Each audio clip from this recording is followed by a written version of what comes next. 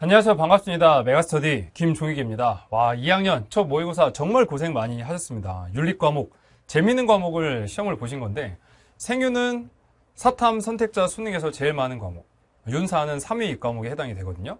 그래서 제가 이야기를 해드린 이유는 2학년이시더라도 일단 본인이 어떤 선택 과목을 수능 때 보게 될까라는 생각은 쭉 하고 계셔야 돼요. 왜냐면 사탐을 지금 1년 해가지고 점수가 잘 나오는 그런 시대가 아니거든요. 사탐이 많이 어려워졌기 때문에. 여러분들이 오늘 봤던 사탐은 그렇게 많이 어려운 건 아닙니다. 어, 3학년 선배들이 봤던 사탐 진짜 어렵고 생윤윤사 등급컷만 이렇게 39 나왔거든요. 그런데 그렇게 어려운 과목은 아니니까 강의를 잘 따라오시는데 일단 학교 내신 과목으로 이거 하고 계신 분들은 내신 과목으로 잘 따라가시고 아니신 분들은 어? 저 과목이 선택자 1위, 3위 과목이라는데 한번 접근해 볼까라고 생각을 갖고 제가 촬영한 여러분 3학년 선배들을 위한 잘생긴 개념이랄지 아니면 여러분들 내신용으로 찍은 잘하는 윤리 이런 강의들을 길게 놓고 보세요. 뭐 한 달에 한네강 정도 일주일에 한 강만 보겠다. 그렇게 보더라도 여러분 1년 동안 생긴 개념이라도 정복할 수 있거든요. 너무 막 어렵게 생각하지 마시고 일주일에 한 강이라도 보겠다. 그렇게 하면 여러분들 6월, 9월, 11월 좋은 점수 받을 수 있습니다. 이번 시험에서는 통사를 베이스로 해서 이제 문제가 나오다 보니까 여러분들이 이런 문제들을 막 틀려서 정보사회윤리, 막 과학기술윤리, 생윤에서 음, 분배정의 파트는 여러분들 통사에서 배우긴 했지만 어려운 주제이긴 하거든요. 근데 이제 생윤도 그렇고 윤사도 그렇고 제가 총평을 한 번에 찍는 이유는 왜 찍어드리냐면 앞으로 이제 여러분들이 생윤 윤사를 배우실 텐데 2학년 때 문제를 푸는 팁이 있어요. 하나는 뭐냐면 저 3학년 선배들 이거 절대 하지 말라 하거든요. 첫 번째는 속어법이 있습니다.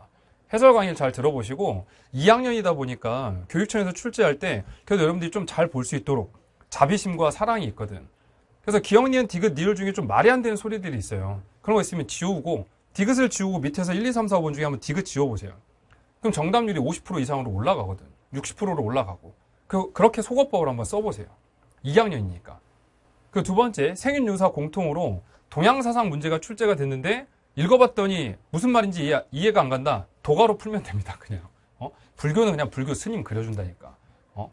그렇게 문제 푸시면 돼요. 세 번째, 정답이 제시문에 있습니다. 정답이 제시문에 있어요.